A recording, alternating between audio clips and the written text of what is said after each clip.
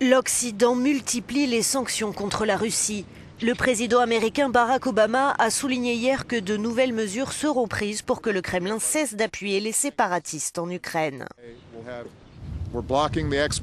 Nous bloquons les exportations et les technologies propres au secteur de l'énergie russe, dit-il.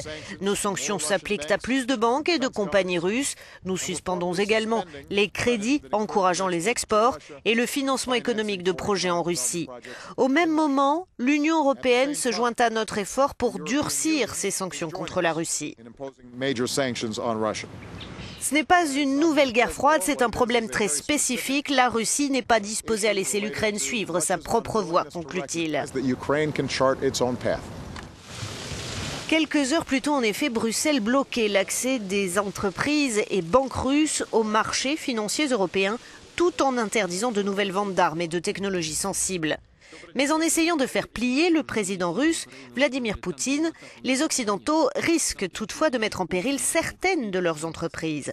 Plusieurs sociétés européennes ont prévenu que leur activité pourrait pâtir de ces nouvelles sanctions, à l'image du pétrolier BP, actionnaire à près de 20% du groupe public russe Rosneft.